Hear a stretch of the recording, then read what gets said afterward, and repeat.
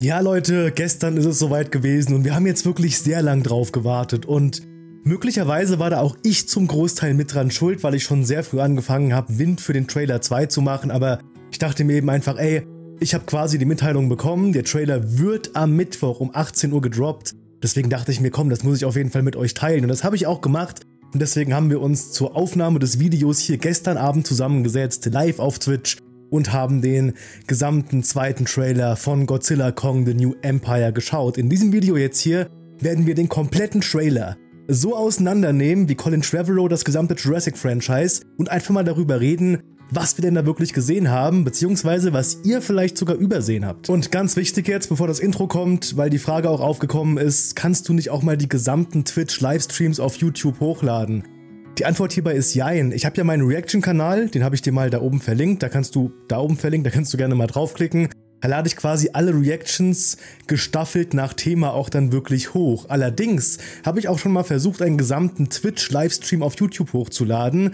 Nur hat Twitch irgendwie andere Vorgehensweisen in Sachen Urheberrecht als YouTube. Zum Beispiel blendet Twitch automatisch Soundtracks im Hintergrund aus, während YouTube einfach dann direkt anfängt, dir die Tür einzutreten und dir eine Waffe an den Kopf zu halten. Aus diesem Grund kann ich die gesamten Twitch-Streams nicht so auf YouTube hochladen. Was ich aber jetzt eben machen werde und ja, ey, Davon profitieren dann jetzt eben die Kanalmitglieder. Ich werde die gesamten Twitch-Livestreams für alle Kanalmitglieder auf YouTube online schalten. Da die dann eben nicht öffentlich sind, bekomme ich hier dann weniger Schwierigkeiten, wenn mal jetzt ein gesamter Trailer dabei gezeigt wird, ohne dass ich irgendwie drüber rede oder ähnliches und Ey, YouTube kann man verstehen, muss man aber nicht. So viel eben einfach noch dazu Info. Und jetzt fangen wir an, uns den Trailer, den zweiten Trailer von Godzilla Kong zur Brust zu nehmen und schauen mal, was der Trailer uns alles verraten hat, beziehungsweise was er uns auch nicht verraten hat und welche Theorie bestätigt wurden, beziehungsweise welche Theorien einfach jetzt komplett ausgeschlossen werden können. Viel Spaß mit dem Video.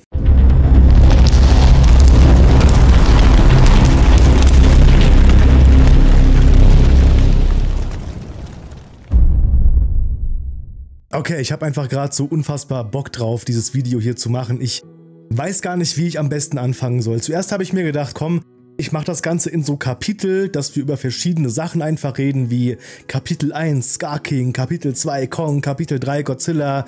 Dann würde ich allerdings bestimmte Sachen, die ich vielleicht nicht in Kapitel unterteilen kann, nicht besprechen können. Deswegen fangen wir einfach mal an, den Trailer so zu besprechen, nach chronologischer Reihenfolge, wie er eben auch einfach abgelaufen ist. Zu Beginn des Trailers sehen wir eine Szene, die wir auch aus dem ersten Trailer schon so ähnlich kannten, nämlich die Szene, in der in Ägypten das große Loch, äh, sich das große Loch öffnet, das runter in die Hollow Earth führt. Das Loch, wo einige davon ausgehen, dass das blaue Leuchten hier dann auch wirklich zu Shimo gehört. Auf Shimo kommen wir gleich auch nochmal zu sprechen. Was mir allerdings aufgefallen ist, was ich auch im Livestream erwähnt habe, ist, ich habe das Gefühl, dass die wirklich an der Technik, gerade eben am CGI, nochmal wesentlich mehr gefeilt haben. Und ja, ey, jetzt die ganzen Leute, die in Trailer 1 ja natürlich wieder total belanglos gemeckert haben.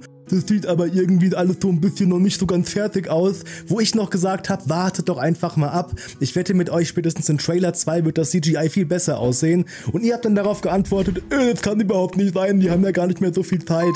End vom Lied ist gewesen, Trailer 2 sieht in jeder Hinsicht besser aus als Trailer 1. Ja, sie haben sogar laut offiziellen Angaben von Adam Wingard noch einiges mehr am CGI verarbeitet oder eben bearbeitet, damit der Trailer eben so gut aussehen könnte, beziehungsweise damit der Film im Endeffekt besser aussehen wird als der erste Trailer. Und von daher wurde da vielleicht wieder mal ein bisschen zu viel gemeckert im Voraus, was ich niemandem unterstellen will, aber es ist halt jedes Mal dasselbe. Von daher ja, Trailer 2 sieht um einiges besser aus als der erste Trailer. Und wir sehen jetzt eben hier auch wieder, wie sich die Erde auftut in Ägypten und Kong zum Vorschein kommt. Rebecca Halls Stimme erklärt uns dann, dass beide Kaiju-Varianten, also eben einmal die Titans, die Titanen, und eben die Kongs aus einem bestimmten Grund existieren. Wir sehen zum einen darauf hin, wie Kong mit Gia in der Hohlerde kommuniziert, indem er ihr so den Finger hinstreckt. Ist eine ziemlich coole Szene, zumindest rein vom, vom optischen her. Und wir erfahren darauf hin, dass die Titanen dafür verantwortlich sind, also in diesem Fall eben Godzilla, der ja quasi der letzte dieser Godzilla-Rasse ist. Ich schätze mal, sie meint mit Titanen speziell die Godzilla-Spezies. Denn die sind dafür da oder die haben die Aufgabe, die Natur im Gleichgewicht zu halten. Die sollen die Natur beschützen. Und das macht auch total Sinn zu dem, was wir in der Apple TV Plus Serie Monarch Legacy of Monsters erfahren haben.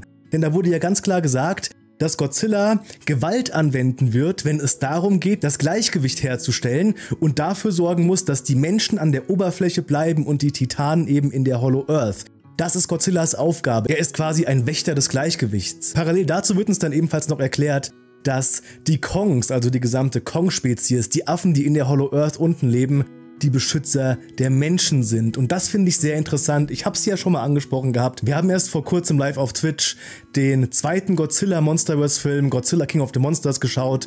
Und ich muss jetzt hier gleich mal dazu sagen, ich finde, King of the Monsters ist maßlos überschätzt. Und ihr könnt mir jetzt gern böse Kommentare unten reinschreiben. Ich muss euch ganz ehrlich sagen, Godzilla vs. Kong hat langsam einen höheren Stellenwert bei mir. Oder hat es jetzt wirklich bekommen? Komm, ich sag's einfach genau, wie es ist. Ich finde Godzilla vs. Kong inzwischen wesentlich besser als King of the Monsters. King of the Monsters reißt bestimmte Sachen an, wie diese, diese Atlantis-ähnliche Stadt, wo Godzilla leben könnte und geht aber einfach null darauf ein. Und dann habe ich noch in, dem, in unserem Livestream gesagt, ich würde mir einfach wünschen, dass wir so eine Mythologie mal ein bisschen mehr aufbauen. Und nicht einfach nur wie in King of the Monsters, ah, da ist Mothra, check, da ist Rodan, check, da ist Ghidorah, check, Monsterkloppe, bam, bam, bam.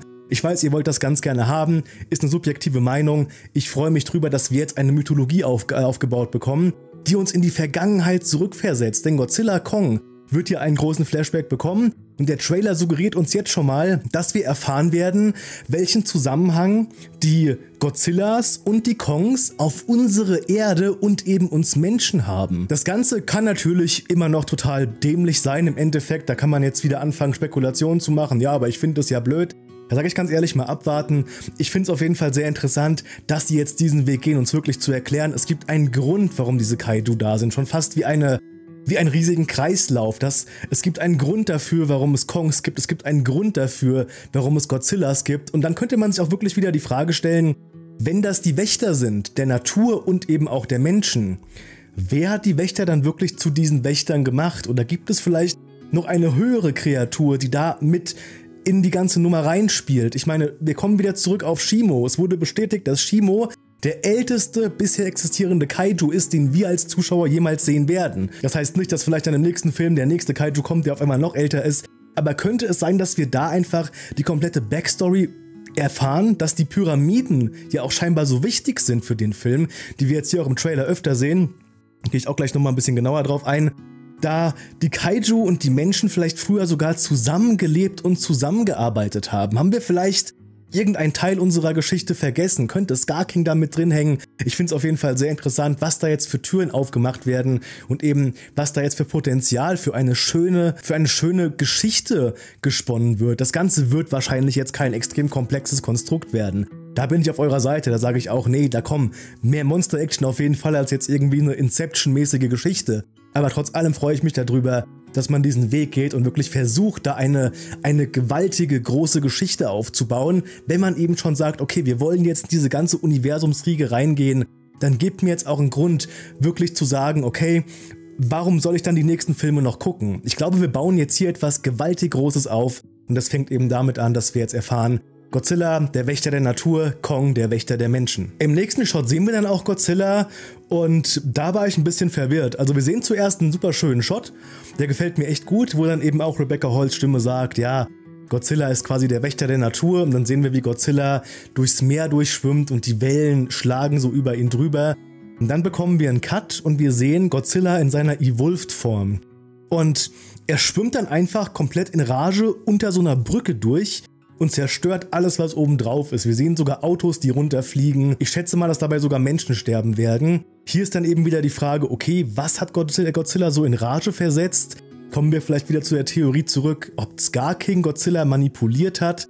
Das würde das Ganze irgendwie erklären. Ihr könnt mir dazu gerne mal eure Theorien in die Kommentare unten reinschreiben. Wir bekommen später im Trailer noch ein paar andere Szenen wo wir uns auch gestern bei Twitch nicht wirklich einig waren, was da gerade passiert. Auf jeden Fall war das irgendwie auch ein relativ lustiger Kontrast, der vielleicht beabsichtigt war, vielleicht aber auch nicht, dass Rebecca, äh, Rebecca Hall eben sagt, dass die Kongs die Menschen beschützen und eben Godzilla die Natur beschützt. Und danach sehen wir, wie Godzilla einfach durch so Menschenmassen durchrauscht, die in, die in ihren Autos auf so einer Brücke drauf sitzen. So, vielleicht war das einfach nur unglücklich gewählt, vielleicht war das aber auch irgendwie ein Hinweis dahingehend, dass die Menschheit so ein bisschen gegen die Natur agiert und deswegen Godzilla gegen die Menschheit agiert. Das wäre vielleicht noch ein bisschen weit hergeholt, aber so Gedanken haben wir uns eben dann auch darüber gemacht. Eine weitere Theorie ist auch, dass dieser ganze Moment, in dem wir sehen, wie Godzilla unter der Brücke unten durchschwimmt, einfach nur eine Vision von Gia selber ist. Denn wir sehen kurz darauf, dass mit Gia irgendwas nicht so ganz zu stimmen scheint. Die bekommt fast wie so posttraumatische Panikattacken. Wir sehen, dass sie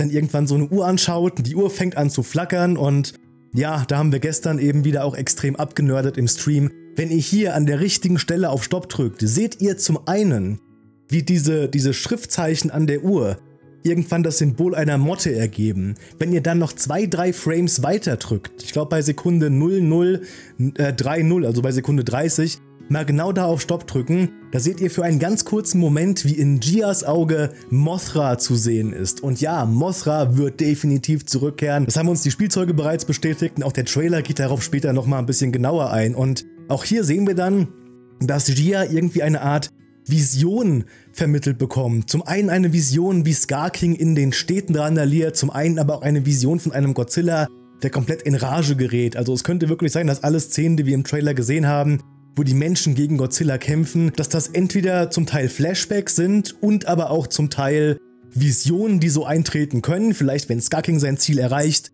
und dann könnte er Godzilla auch manipulieren oder irgend so etwas. Ich meine, wie ist denn das im Endeffekt? Es haben sich ja sämtliche Kaiju Godzilla untergeordnet, nachdem Godzilla der mächtigste Kaiju von allen wurde. Wenn jetzt aber ein Shimo auftaucht und Shimo und Scar King gemeinsam die mächtigsten Kaiju von allen werden, würde sich dann ein Godzilla vielleicht auch automatisch ihm unterordnen, dass das irgendwie so eine natürliche, eine natürliche Reaktion darauf ist? Irgendwie sowas in der Art. Auf jeden Fall bekommt Gia anscheinend durch irgendeine Energie von Mothra Warnungen zugesendet. Und darauf geht dann eben auch Rebecca Holz Stimme noch im Hintergrund weiter ein. Zuerst denken wir, dass sie von Scar King redet, weil sie dann darauf eingeht, dass dieses Gleichgewicht von wegen Natur beschützen und Menschen beschützen wird eben jetzt gestört und sogar Godzilla und Kong bekommen Angst vor dem, was jetzt kommt. Und dann sehen wir erstmal, wie Scar King so eine, so eine Arena runter, runter, runterhüpft. Und das scheint wirklich eine Arena zu sein, wo Scar King andere Kongs opfert. Denn wir sehen zum Beispiel auch, dass es bestimmte Kongs gibt, die haben so wie Sarumans rote Hand auf der Brust drauf, so ein blutverschmiertes Symbol. Und die feuern eben auch dann so diesen Kampf da unten in der Arena an. Das sind anscheinend die bösen Kongs, also die sind auf der Seite von Scar King, während die guten Kongs, die in der Mitte sind, total verängstigt hin und her schauen und dann geht diese Lavawand langsam auf und wir sehen zum allerersten Mal die zwei Augen von Shimo, der dann eben aus diesem Lavagefängnis in die Arena zu kommen scheint. Und ich hatte ja bereits die Theorie aufgestellt, dass ich glaube, dass Scar King Kongs an Shimo opfert, aus welchen Gründen auch immer, vielleicht damit Shimo einfach auch nur Nahrung hat oder irgendwie Energie bekommt oder ähnliches.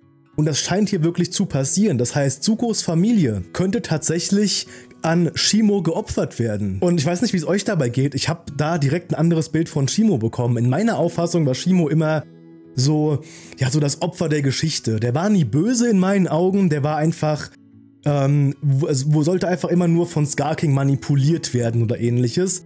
Hier sieht es ein bisschen so aus, als wäre Shimo einfach nur eine wilde Bestie, die scheinbar wirklich, naja, sich einfach nur von den Energien der Kongs ernährt oder eben einfach nur fressen will. Wir sehen sogar ganz kurz darauf einen extrem coolen Kampf zwischen Scar King und Kong. Und auch hier sehen wir, wie Kong von der Peitsche von Scar King die Hand aufgeschlitzt bekommt. Und nein, das ist aber nicht die Hand, die den Handschuh später bekommt. Tatsächlich ist das die falsche Hand. Wenn ihr mal drauf achtet, er bekommt, glaube ich, die linke Hand aufgeschlitzt, die da, und die rechte hat aber später diesen Handschuh an. Das heißt, mit der Hand muss nochmal irgendwas passieren, denn wir sehen dann eben auch kurz danach, dass Shimo seinen Ice Raid Blast gegen Kong einsetzt. Er wehrt diesen Angriff mit der Axt ganz schwierig ab. Und was wir aber davor sehen in diesem Shot, ich hoffe, ich kann es dir gerade mal einblenden, das sind so ganz viele Eisfetzen. Das sieht so aus, als hätte Shimo, kurz bevor er Kong angegriffen hat, die ganzen anderen Kongs mit seinem Eisstrahl erwischt. Und deswegen flackern eben dann noch so die letzten Schneeflocken dieses Angriffs auf Kong zu, während dann der nächste Eisstrahl direkt ähm, von Kongs Axt quasi abgeblockt wird. Und dieser Block könnte allerdings so mächtig gewesen sein, dass Kong sich dabei den Arm bricht oder ähnliches. Auf jeden Fall scheint Kong hierbei wirklich den Kampf zu verlieren. Ach so, nur bevor ich es jetzt vergesse, wenn man bei den Visionen die Gia hat, das sind ja wirklich nur ganz viele Frames aneinander geklatscht in verschiedene Versionen, wenn wir da zum richtigen Zeitpunkt auf Stopp drücken, sehen wir ebenfalls auch dieses Bild, was uns hier einen sehr coolen Einblick gibt ähm, wie groß Shimo wirklich ist. Hier sehen wir wirklich mal Shimo zum ersten Mal in kompletter Montur.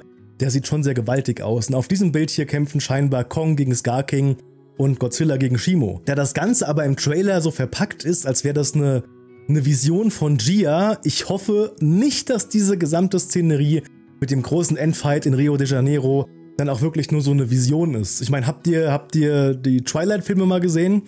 Ähm, den letzten Twilight-Film, wo am Ende eine Schlacht passiert und dann gibt es einen Cut und dann war, ah nee, war doch nur eine Vision. Ist alles gar nicht passiert. Das, ey, das wäre echt kacke. Aber das werden sie schon nicht machen. Ich glaube, dass dieser Kampf wirklich stattfinden wird. Außerdem können mir auch mal ein paar von euch jetzt in die Kommentare unten reinschreiben, was ihr glaubt, warum Mothra so ein, so ein Draht zu Gia hat. Gibt es da irgendwelche Indizien zu den alten Toho-Filmen? Weil, wie gesagt, ich habe noch nicht alle alten Toho-Filme gesehen. Da bin ich noch nicht so weit, dass ich das irgendwie wissen könnte. Nur ich weiß, dass irgendwie eine Wiedergeburt von Mothra auch schon mal in den Toho-Filmen Thema war. Vielleicht könnt ihr mir das dann damit erklären, warum hat Mothra so eine Verbindung jetzt zu Gia? Das, ähm, ja, das wäre auf jeden Fall eine ganz coole Nummer. Kurz danach sehen wir wieder einen Shot und wir sehen Godzilla in einer neuen Variante. Und diese Variante jetzt hier, die sieht aus wie diese, ah, sie hat einen Namen und ihr habt es mir auch gestern erklärt, diese Atomic-Variante, wo er quasi in King of the Monsters dann diesen orangenen atomaren Körper bekommt. Ähm, den Atomic Godzilla nennen wir ihn einfach mal. Das hier ist anscheinend dieselbe Variante, nur eben mit blauer Energie. Und diese blaue Energie, die gab es allerdings auch schon vorher. Und ihr werdet euch jetzt wahrscheinlich fragen, wo denn? Die Antwort ist im Comic Godzilla Aftershock war es, glaube ich, gewesen wo Godzilla diese Form bereits angenommen hat, um gegen Muto Prime zu kämpfen. Und genau das deckt sich jetzt auch so ein bisschen mit dem, was Adam Wingard ja von vornherein angekündigt hatte, wir werden in diesem Film die meisten Godzilla-Verwandlungen von allen Godzilla-Filmen sehen und wir können ja mal ein bisschen zusammentragen, was wir bisher gesehen haben. Wir sehen auf jeden Fall den ganz normalen Godzilla aus dem Shot in Rom zum Beispiel. Wir sehen Godzilla, wie er seinen Atomic Breath schießt und eben einfach nur seine, seine Schuppen blau leuchten. Dann sehen wir eben hier diesen Atomic Blue Godzilla, nennen wir ihn einfach mal, der Atomic Godzilla, den wir in King of the Monsters gesehen haben, der soll anscheinend auch noch einen Auftritt haben, dieser, dieser, ähm, dieser, dieser orange leuchtende. Dann haben wir noch Godzilla Evolved und ja, laut Gerüchten wäre das hier auch noch eine neue Godzilla-Variante, aber ich glaube, das war's. Ich glaube, das hier ist auch Godzilla Evolved. Wir haben eben nur noch einmal die Variante Godzilla Evolved, wie er einen Atomic Breath ausschießt, deswegen auch dann dabei leuchtet und dann eben den nicht leuchtenden Godzilla Evolved. Und auch hier haben wir schon weitere Bestätigung, warum Mothra auf jeden Fall zurückkehrt. Ich meine, wir haben Mothras Gesicht ganz klar gesehen und wir kommen auch gleich noch weiter im Trailer dazu, wo uns Mothra erneut nochmal gezeigt wird. Aber allein, dass Godzilla hier diese Atomic-Form annehmen kann, nur eben mit blauer Farbe, ihr könnt mich gern korrigieren, aber konnte er das im zweiten Film nicht auch nur deswegen, weil Mothra ihm diese Energie, diese Sporen gegeben hat? War da nicht irgendwas damit gewesen? Ebenfalls sehen wir in dem Trailer ein komplett neues Portal in die Hollow Earth, ähm, wo ich auch nicht genau weiß, warum wir jetzt ein neues Portal brauchen. Was wurde aus dem alten Portal, aus äh, Godzilla vs. Kong? Und dieses Portal hier scheint jetzt wesentlich stabiler zu sein und auch um einiges größer. Und das Set hier ist irgendwo in Brasilien. Also die waren nie in Brasilien beim Original-Filmdreh. Warum auch? Wir haben ja heutzutage Greenscreen aber auf jeden Fall soll die ganze Szenerie hier in Brasilien spielen. Dieser Strand hier ist allerdings nicht die Copacabana von Rio de Janeiro. Das ist irgendwo anders, wahrscheinlich trotz allem irgendwo in Rio. Die Copacabana sehen wir aber später noch im Verlauf des Trailers. Kurz daraufhin wird uns das Ei von Mothra gezeigt, das quasi dann noch von dem Freund von Rebecca Hall berührt wird und ich sage einfach ganz klar, ja, das ist auf jeden Fall das Ei von Mothra. Das heißt, die gesamten Theorien, auch meine Theorie, dass Gia, wie sie im ersten Trailer so die Hand nach oben hält und diese Sporen entgegenkommt, dass das Mothra ist, wurde nahezu offiziell bestätigt durch diesen Trailer.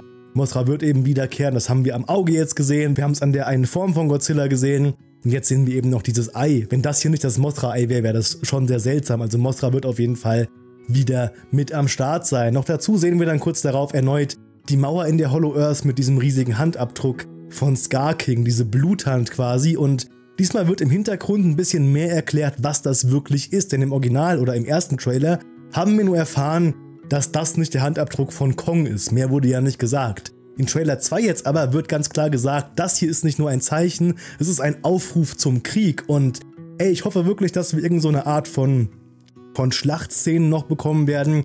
Quasi, dass die bösen Kongs gegen die guten Kongs kämpfen, könnte ich mir ganz gut vorstellen. In meiner Traumvorstellung würde das Ganze so aussehen, dass auch wirklich eine Armee von bösen Kongs an die Oberfläche kommt und dann die Menschen mit Panzern und Flugzeugen und Kriegsschiffen gegen eine Armee von bösen Kong-Kaiju ankämpfen müsste. Allerdings gibt es im Trailer keinen einzigen Indiz dahin, dass diese Kong-Armee an die Oberfläche kommt. Und es gibt eher ein paar Indizien dahingehend, dass die Kong-Armee in der Hollow Earth gegen andere Kongs kämpft. Ist auch okay, ist auch ganz cool.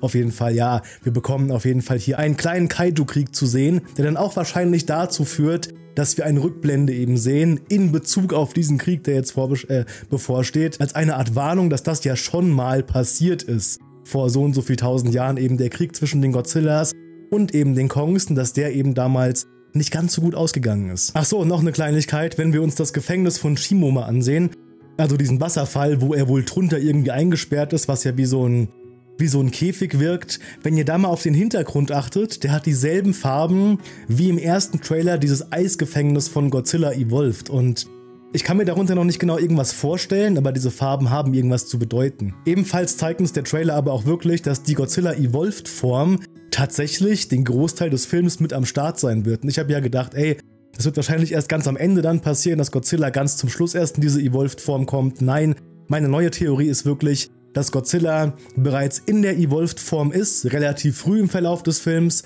und danach von Shimo besiegt und eingefroren wird. Das heißt, dieses Eisgefängnis, was wir im ersten Trailer gesehen haben, hat nichts mit irgendeiner Metamorphose zu tun. Das hier ist wirklich ein Eisgefängnis von Shimo, in welches er Godzilla eingesperrt hat. Und dann sehen wir auch noch später im Trailer, wie Godzilla aus so einem Abgrund rauskommt und Kong kommt hinter ihm her. Meine Prognose ist, dass Kong Godzilla hier einfach befreit hat und jetzt beide in den Kampf gegen Scar King und Shimo rennen. Daraufhin sehen wir dann auch noch einmal ein Bild von Shimo. Ich habe das Bild hier gerade mal für euch eingeblendet. Wenn wir da mal ganz genau drauf schauen, sehen wir, wie Shimo einen Eisstrahl in die Atmosphäre hochballert. Und da gab es auch ein paar von euch, die gesagt haben, ja, Shimo hat hier wahrscheinlich Mothra angegriffen. Ich glaube eher, dass Shimo hier versucht, die Atmosphäre zu verändern, weil parallel dazu, wie er seinen Eisstrahl auch nach oben schießt, gefriert einfach in Rio der gesamte Boden. Die Leute fangen an wegzurennen. Und wir sehen auch hier auf dem Bild, da unten links in der Ecke, da steht auch noch ein Scar King rum und das hier rechts in der Ecke, das könnte irgendwie ein am Boden liegender Kong sein, der gerade den Kampf verloren hat. Also Shimo wird hier wirklich versuchen, eine weitere Eiszeit hervorzurufen. Und auch hier gab es ja schon die Theorie, dass Shimo damals für die Eiszeit verantwortlich gewesen ist und in der Welt von Godzilla nicht wiederkommen mit da, aber die Wissenschaft sagt was anderes. In der Welt von Godzilla soll Shimo für das Aussterben der Dinosaurier verantwortlich gewesen sein. Die Theorie gibt's und wenn das irgendwie so der Fall wäre, dann würde ich das doch irgendwie relativ cool finden. Was genau allerdings jetzt Skarkings Mission dahinter ist, verstehe ich immer noch nicht genau. Also Skarking hat scheinbar Shimo unter Kontrolle wie so ein Haustier und Shimo friert dann den Planeten ein. Das ist der Plan. Warum? Also da, was hat Skarking jetzt eigentlich vor? Ich verstehe es immer noch nicht. Vielleicht könnt ihr mir da ein bisschen mehr Aufschluss geben. Ich habe keine Ahnung, was dem sein Plan im Endeffekt ist. Aber wir sehen auf jeden Fall einen relativ generischen Strahl in den Himmel unten rein und ich kann jetzt schon wieder prophezeien, dass das ein oder andere Video, was jetzt von lieben YouTubern rauskommen wird, wird sich genau an diesem Strahl in den Himmel aufhängen und sagen, oh, der generische Strahl in den Himmel. Bullshit. Hat auf jeden Fall einen Hintergrund. Timo will hiermit die Atmosphäre verändern. Ich find's ziemlich cool. Dann sehen wir eben auch noch, wie die Menschen aus Rio versuchen zu flüchten oder sie rennen zumindest vor diesem Eisstrahl, vor dieser Eisattacke weg. Dann gibt's erneut einen Cut auf einen Kong und einen Godzilla, die nun beide irgendwie in Ägypten sind und Kong greift Godzilla an. Daraufhin erklärt uns dann im Hintergrund eine Stimme, naja, Kong ist einfach im letzten Aufeinandertreffen mit Godzilla beinahe gestorben und die beiden müssen sich ja auch nicht mögen, sie müssen nur zusammenarbeiten und ich glaube, dass in diesem Kampf, den wir im Trailer sehen, dass da weder ein Scar King die Hände mit im Spiel hat, noch irgendwie das Godzilla böse geworden ist. Ich glaube, die beiden kappeln sich hier einfach. Denn auch ein Adam Wingard hat bereits bei der Empire ausgesagt, dass die gesamte Beziehung zwischen Kong und Godzilla soll so ein bisschen an eine Buddy-Cop-Geschichte erinnern. Also die müssen quasi aus Zwang zusammenarbeiten. Ich muss dabei immer an Son Goku und Vegeta denken. Ich finde es schon ganz nett, wenn das wirklich in einigen Maßen, in guten Maßen Humor mit in die ganze Story mit reinbringt. Aber wirklich dann ganz, ganz, ganz gezielt in Maßen. Daraufhin gibt es den Shot an die Copacabana, den kennen wir aber auch schon, da wo Scar King die Menschen unten an der Erde anbrüllt und ich schätze mal, dass das hier sogar der Moment ist, kurz bevor Shimo dann seinen Eisstrahl eben in den Himmel hochballert und dann eben die Menschen vor der ganzen Nummer fliehen. Und ich frage mich wirklich, ob sie so weit gehen und die gesamte Erde einfrieren lassen oder ob der Film so eine typische 0815 Marvel-Nummer daraus macht. dass man im letzten Moment es doch noch schafft, diesen kompletten Eisangriff irgendwie zu verhindern. Es muss nicht mal die ganze Erde eingefroren werden, aber ich würde mich einfach freuen, wenn das wirklich Konsequenzen für die kommenden Filme haben würde. Wenn in kommenden Filmen einfach darauf eingegangen wird, dass äh, Rio de Janeiro quasi das neue Tschernobyl ist, eine komplett zerstörte Stadt, das weiterhin tief eingefroren ist. Das Eis von, das Eis von Shimo, das schmilzt möglicherweise nicht. Und man kann diese gesamte Fläche immer noch nicht betreten aufgrund seiner Kälte. Also ich würde da auf jeden Fall ganz gerne irgendwie Konsequenzen haben für die kommenden Filme. Ach so, wir sehen auch noch mal ganz kurz, wie sich Kong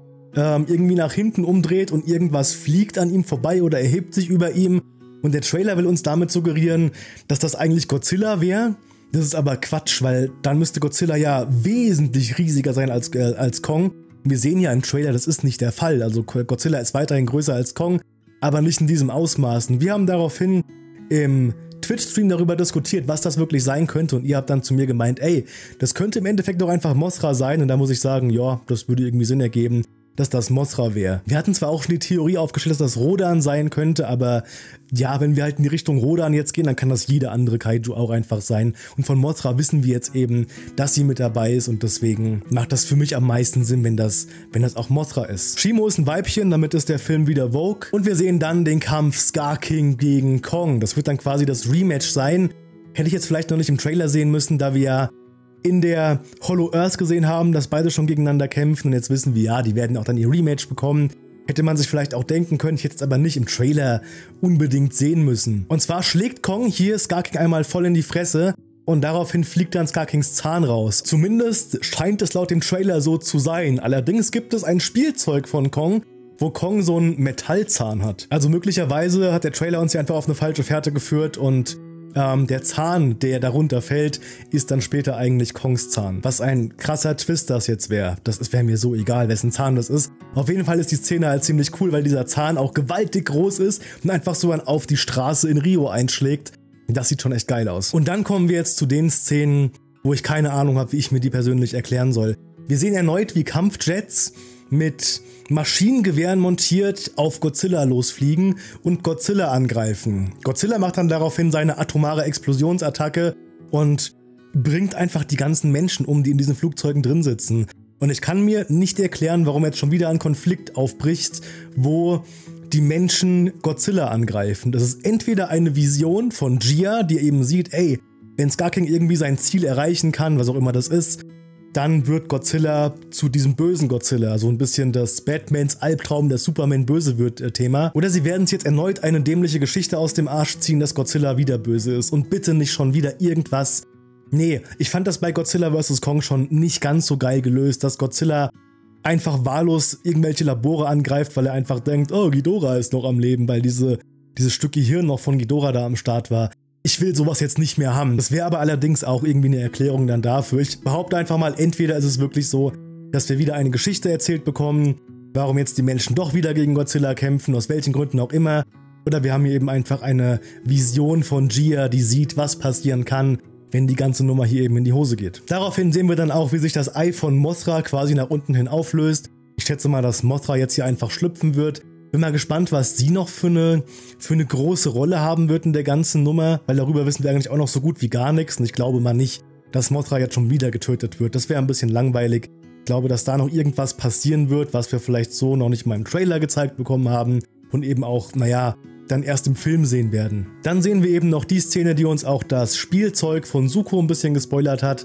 In Sukos Spielzeug hat die Fähigkeit, über so eine Armhydraulik so einen, so einen Plastikstein zu schmeißen und in dem Spot von dem Spielzeug sehen wir eben, wie Suko so einen Stein in Scar, Scar Kings Gesicht wirft. Das sehen wir jetzt hier auch, allerdings wirft er hier einen Stein eben nicht in Scar Kings Gesicht, sondern er wirft hier den Stein auf einen, naja, von, von Scar Kings Soldaten eben. Das heißt, wir werden auf jeden Fall irgendwie eine Art von Schlacht in der Hollow Earth dann zu sehen bekommen. Ebenfalls sehen wir im Trailer auch noch, dass Suko wirklich am Kampf gegen Scar King beteiligt ist. Nämlich in der Szene, in welcher Scar King gegen Kong kämpft und Godzilla gegen Shimo. Da wird auch Suko sich mit einmischen und ihr habt mir geschrieben, ihr hättet auch irgendwo Duck ausgemacht. Ich habe von Duck jetzt nichts gesehen, aber es könnte natürlich auch sein, dass ebenfalls Duck mit eingreift. Und ich finde diese ganzen, diese ganzen Größenvergleiche, die Größenverhältnisse immer ganz interessant, da ja wirklich Suko quasi ein Mini-Kong ist und dann siehst du einfach, wie der so zwischen Hochhäusern steht und merkst, ey, sogar die Minis bei diesen Titanen sind unfassbar riesig. Das finde ich immer sehr witzig und ja,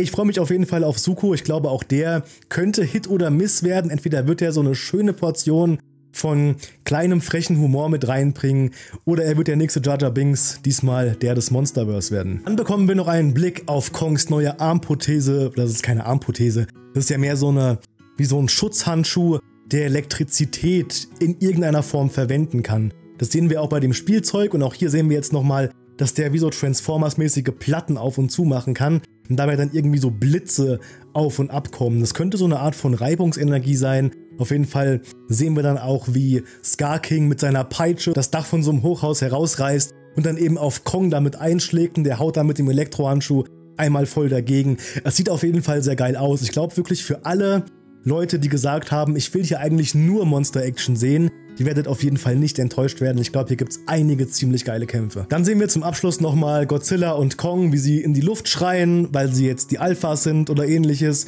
Und im Hintergrund sehen wir dann eben auch die Sphinx. Das heißt, dieses ganze Szenario ebenfalls in Ägypten wird relativ wichtig sein. Und noch ein Faktor, warum die Pyramiden definitiv eine gewaltige Rolle spielen werden.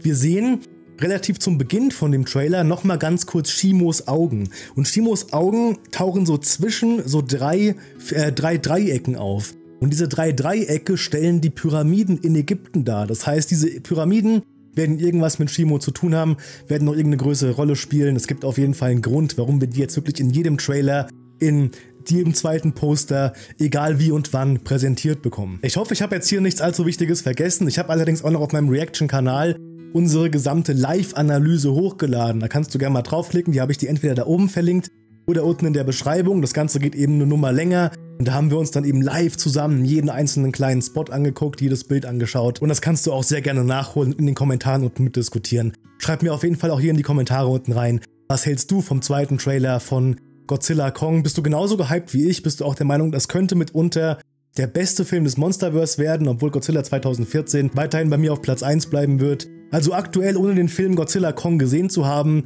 wenn der Film wirklich so gut wird, wie ich es im Gefühl habe, dann wird Godzilla 2014 mein Platz 1 werden. Godzilla Kong mein Platz 2, Godzilla vs. Kong mein Platz 3, Godzilla King of the Monsters mein Platz 4 und Kong Skull Island mein Platz 5 werden. Das wäre dann eben mein Ranking. Aber das können wir in Ruhe auch nochmal besprechen, wenn dann der Film endlich draußen ist. In diesem Sinne, ihr Lieben, bin ich raus für heute mit dem Video. Ich wünsche euch was. Bis zum nächsten Mal. Macht's gut. Ciao.